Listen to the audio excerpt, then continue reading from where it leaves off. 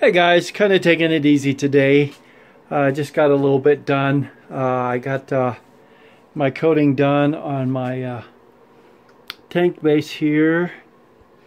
And uh, I actually I've cut the hole for the uh, petcock fitting. And so I've got this all, got my coating here, my fuel-proof coating.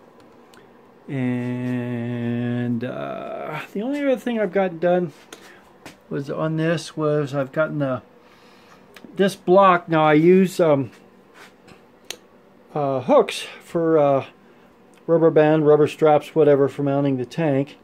So I have my hook and I'm trying to find a different ways of uh, uh, screwing the screws in so it's not just a fiberglass and kind of pediatric, pediatric here but uh, all I did basically just took wood. I uh, fiberglassed it on all sides I grind it to fit in the back there and then uh, I drill and um, epoxy these guys in and then seal it. You can see where the screws are already drilled in there for the hook.